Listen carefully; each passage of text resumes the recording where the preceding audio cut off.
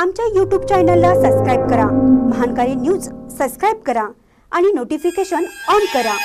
Notification on केल्यामुळे आमचे update आपल्यापर्यंत सतत पोहोचेल. गोकुळ दूध संघ विकण्याच्या तयारीत मल्टीस्टेट खाजगीकरणाचे पहिले पाऊल. निर्णयाविरुद्ध मुश्रीफ गट मंडली गट एकत्र. जिल्ह्याची अस्मिता असलेला गोकुळ दूध संघ विकण्याचा प्रयत्न सुरू आहे. हा संघ मल्टीस्टेट झाल्यानंतर त्यावर कुणाचंही नियंत्रण राहत नाही.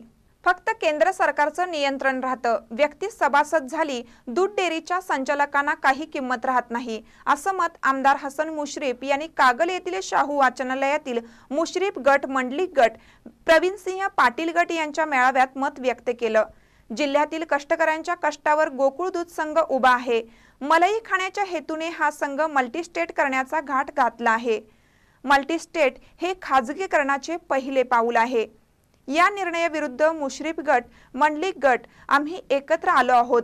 यावेळी प्रवीण सिंह पाटील म्हणाले पस्तीस वर्ष ठाण मांडून बसलेले संचालक मंडळ फक्त स्वतःचा विचार करत आहे.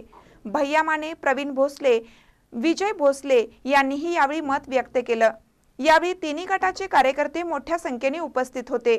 महानकर न्यूजसाठी कागलहून राजेंद्र पाटील वंदूरकर.